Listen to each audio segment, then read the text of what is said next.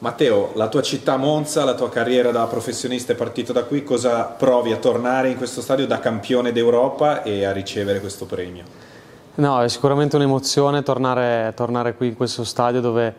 è iniziato tutto, diciamo, primi, le mie prime partite da professionista, ma poi tutti i dieci anni che ho fatto qui come settore giovanile sono un punto di riferimento qua per me, insomma, eh, questo stadio e questa società. Eh, sono, sono super, super, felice di ricevere questo premio importante da, da, parte della mia città e in questo stadio soprattutto. Hai un rapporto speciale con il Monza, con Monza, possiamo dire anche con Adriano Gagliani che ti portò al Milan sei anni fa.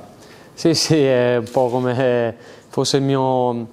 il mio secondo padre, il mio padrino sportivo, è stato lui a vedere in me forse per primo le mie capacità, mi portò al Milan, ci sentiamo, ci sentiamo tuttora, mi fa i complimenti, mi manda le, le pagine dei giornali molto spesso quando parlano di me, abbiamo un bellissimo rapporto. Nonostante i tanti impegni con l'Atalanta, Champions League, campionato la nazionale, appena poi però ti vediamo a vedere il Monza, lo segui ancora anche le partite del settore giovanile? Sì, sì, seguo ovviamente Monza è casa mia, io sono di Monza e, e abito, abito tuttora qua è la società dove è iniziato tutto, quindi mi piace, mi piace seguirla e tifo Monza, eh, oltre ovviamente all'Atalanta. Ehm, seguo anche le partite del settore giovanile come hai detto perché ci sono tanti mister che ho avuto anch'io, c'è il mio amico Raffaele Palladino che sta facendo benissimo,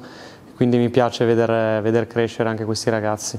Possiamo dire che magari speriamo di vederti qui tra un anno per un altro premio, magari da campione del mondo.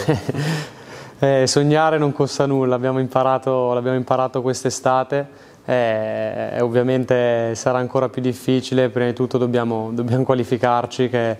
è, ancora aperta, è, ancora aperta, la strada è ancora lunga, però